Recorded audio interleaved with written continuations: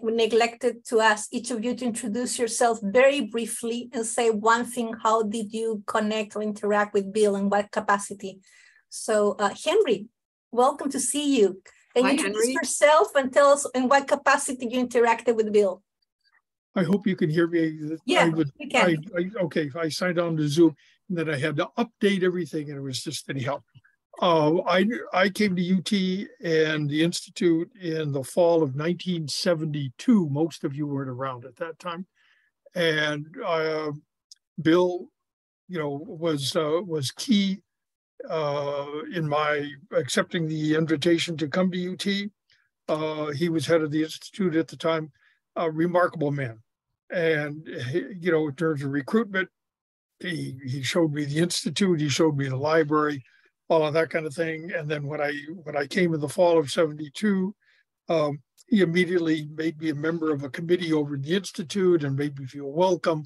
I mean, from there on in, it was just smooth sailing. It was really something. Uh, I've read a variety of of comments that people made on uh, uh, on memorials and other, way. and the one that comes to mind right away is he was he was such a caballero. I mean, he really was a gentleman, and um, I don't know what you would have, what you needed to do to really upset Bill. I suppose he got upset from time to time, but he was very level. Um, he took things as they came. Um, he was very welcoming to to new people. Um, he managed the institute, so far as I could tell, extremely well. Um, he was as good as we could get, and uh, for a young uh, you know, faculty member coming into the 1970s, I couldn't have wished for anything better. Bryan, can you tell us how did you interact with Bill and introduce yourself? No, uh, Bill was very important to me intellectually.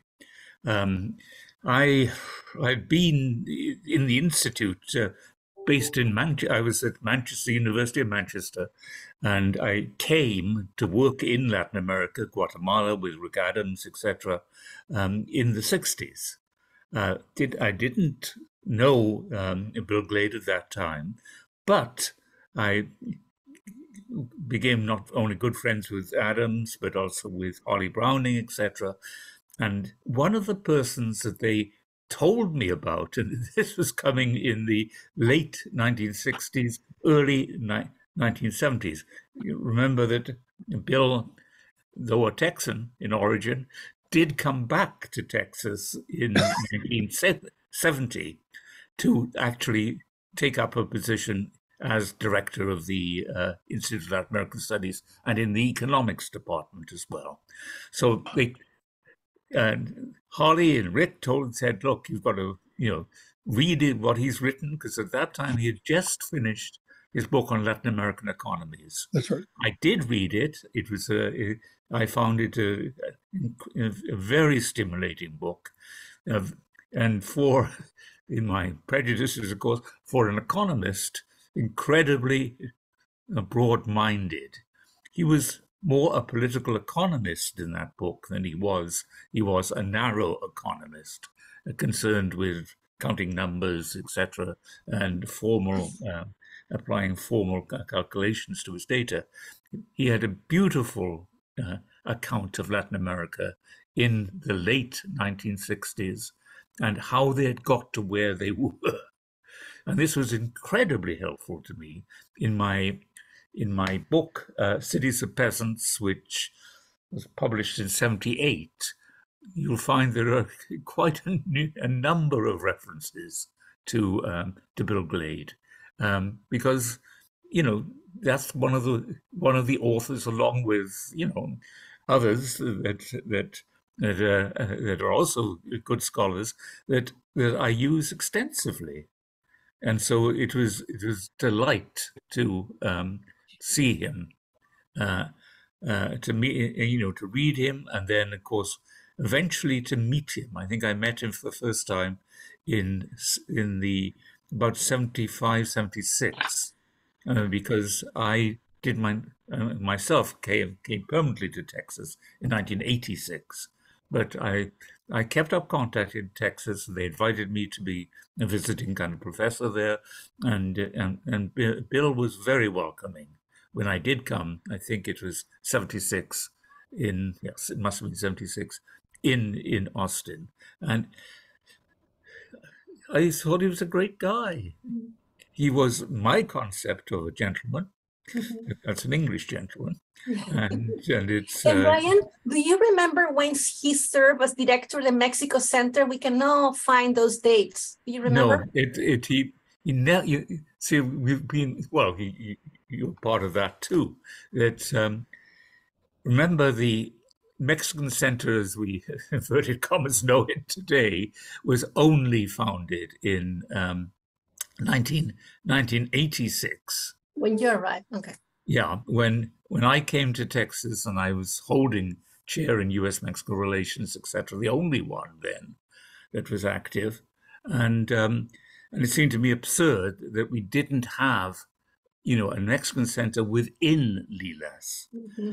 There was a Mexican center outside of LLILAS, which Stanley Ross had been running, and I think um, probably Bill then uh, may have run that for a time too, because it was something in the gift of the the dean and whoever he appointed. It wasn't part of the process of the institute, and that's what we changed in '86. But Bill would have headed the uh, Mexican Center because he's certainly a, a, fine specialist on Mexico in um, better than me in that that, that sense. In um, uh, he would have probably uh, taken that that task on in in in the period up to because uh, he was director, if I remember, from seventy one to to well, it would be oh. 86 no yes right 86 was yeah, to 86 mm-hmm. so i think bill um, put down the directorship of, of LLILAS in 85. And um, and previous to that, I, I guess he'd have held, he'd have uh, worked the Mexican Center. Okay, That's thank you. Period. But we're not going, afterwards. We're going to ask Raul now to go next. How did you interact with Dr. Glade? Um, so I arrived at UT in 1999, um, and Bill Glade was director of the Mexico Center in 1999. So I don't know how long his tenure lasted or when it started, but he was certainly uh, director at that point.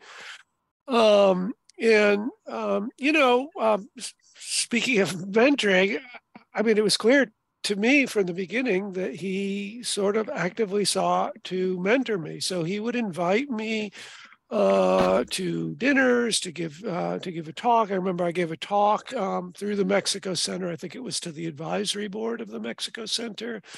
Um, and then after the talk, he came up um, and offered some very helpful comments um, on my project because it was my book you know, my dissertation book project, and it was an economics type topic, social security privatization. So it's very useful things um, to say uh, about it. Um, and as people have said, he's always such a gentleman. I mean, we would go out of his way to help you, to be kind, to um, um, and also tremendously erudite person. Uh, I mean, as Bryan mentioned, uh, this is not your typical economist. He was not narrow.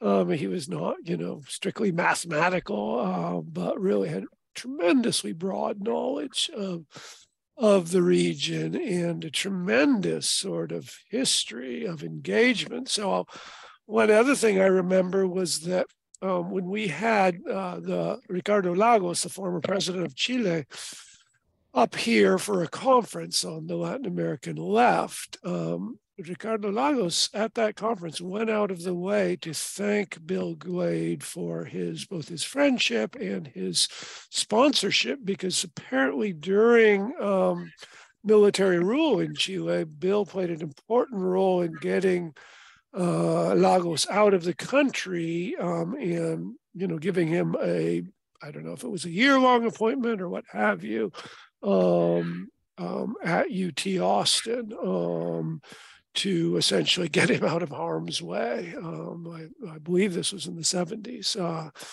so, um, so Bill, you know, Bill knew everybody. he almost seemed to know everything as well. I mean, very, very impressive uh, and, and, generous uh, person.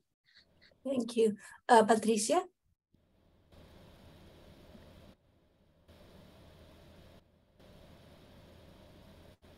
Okay.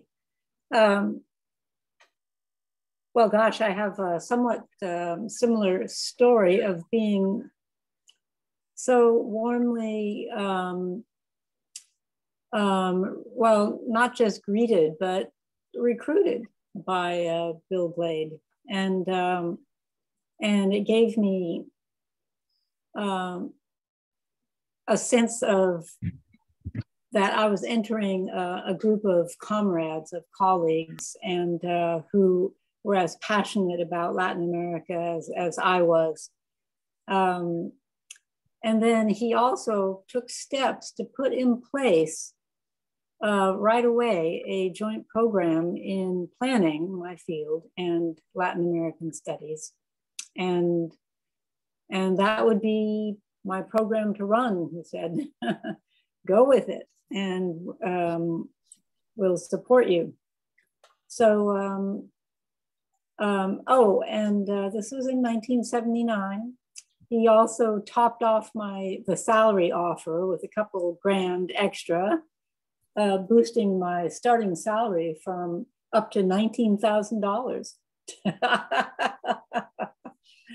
Um, but it was, um, and then when I got to campus, he was so good at introducing me around. You know, that's that's how I met some of you who were on this call because he introduced me around, and I felt I was um, part of a part of a group, and and um, over the years he got me involved in ILAS um, uh, efforts, including the governance committee. And um, it was a um, it was a nice counterbalance or complement to um, to my home base in planning program in the School of Architecture. So it opened me up to a, a broader part of campus and made me feel really, really at home. And of course, um, the occasional funding possibilities that came up through ILAS were were important to me and and helped out when I was doing um, um, studio courses in Mexico, or also I did a studio course that involved uh, Chile, Peru, and other other countries. Um, that kind of financial assistance helped from time to time, um, or for uh, research, or um, or even um, publishing uh, assistance. So, so really, uh, Bill was made made UT accessible, welcoming, and collegial for me. Thank you, Peter. Can you can you go next? Thank you, Paloma. I, I actually had much less uh, interaction with Bill compared to my colleagues here on the screen. Um, I first met Bill uh, when I had been offered the position of director of the Institute. I went to Washington, he was working in Washington, and he uh,